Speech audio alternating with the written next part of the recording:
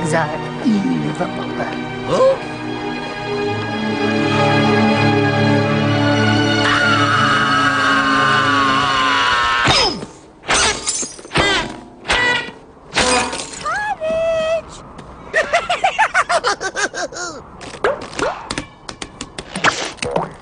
oh, playing with your new friend? That's grand. Pleased to meet you. Courage doesn't make many friends, you know. We'd love it if you'd join us for tea.